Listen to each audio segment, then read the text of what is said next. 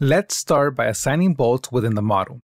The bolt idealization tool allows us to create beam element representations of bolts to aid in the setup and solve portions of our simulation. Currently, the bolts are being modeled as generic bodies, but assigning them bolt properties will later allow us to report bolt-specific performance results. Additionally, we'll be able to reduce memory allocated for bolts and increase the speed of our simulation by following this modeling approach. We can begin by hiding and excluding all nuts from the simulation. It's recommended to hide nuts, washers, and any other attachment hardware prior to assigning bolts. Select the mount nut compartment in the geometry tree and turn off the options on the left. Now, switch to the Prepare tab and navigate towards the bolts group. Here, you can see we can assign and create idealized bolt geometries as well as display them as beams or 3D elements. Click on the Assign button to begin. Let's start with the bigger front mount bolts. Hover over to one of the bolts and select the suggested highlighted geometry. It is important to note that you are going to be selecting the inner diameters of the hole where the bolt is installed. You will not be selecting the bolt geometry itself, We'll select all similar bolts by clicking on this button in the HUD. We can now choose which bolt we'd like to model, but note that Discovery auto-identifies a bolt that matches the bolt hole selected and prescribes a shank diameter, a head diameter and height, and a variety of material properties that are specifically tied to the grade or class of the bolt. You can filter through different bolt libraries as well.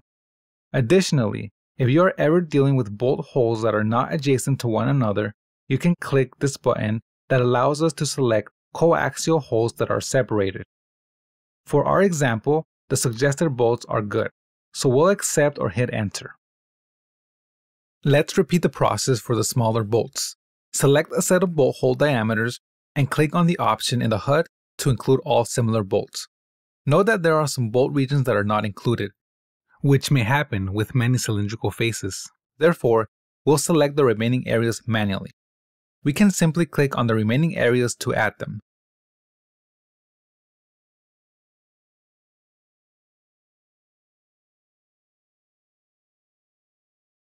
Let's now review our selection. You'll notice that the app selection includes the bolt and cylindrical faces. We can remove them by simply holding Ctrl and clicking on the unwanted faces. Then click Accept or hit Enter. It is important to understand how Discovery will use these idealized beam elements. This is best understood if we visualize our new bolt elements as 3D bolts. If not on, click on Display 3D Bolts. Discovery connects these beam elements at the projected head and tail diameter that was defined under the assignment tool. Connecting these elements at the same diameter as the head of the bolt will give us a more accurate understanding of the true effects of the bolt preload. It is important to note that these elements will be connected at the edges of the holes if transferred to mechanical. We can move forward now that we have the bolt modeled.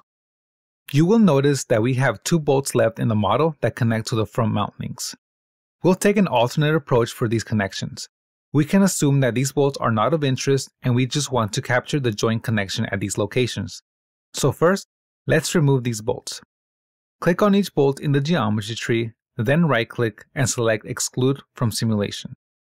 Right-click again and select Hide. Now, let's create the joint connections. To do so, we'll need to access the structural tools. Let's do this through the halo this time. Navigate to the structural tool and select the joint option. From the drop-down list, select Hinged. Now zoom in to one of the links and we can start to create the joint. We'll have to select a primary side, so let's pick the link. And then we have to select the secondary side, by clicking here. Let's pick the main mount. Note that it does not matter which side you choose to be primary or secondary.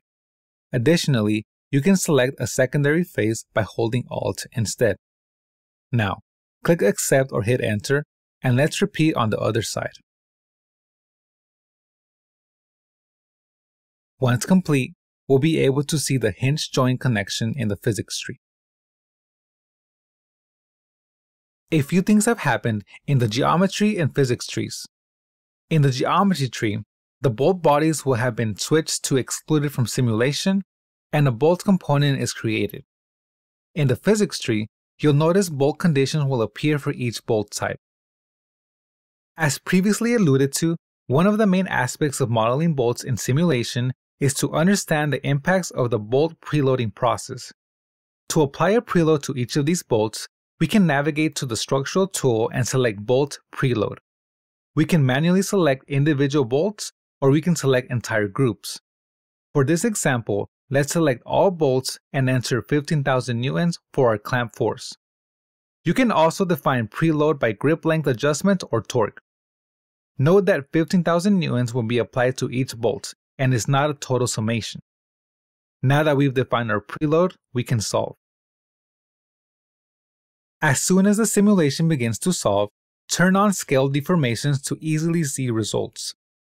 Discovery automatically creates two load steps where we will apply the bolt preload in step 1 and then other physics boundary conditions in step 2. We'll start to see deformations for the bolt preload.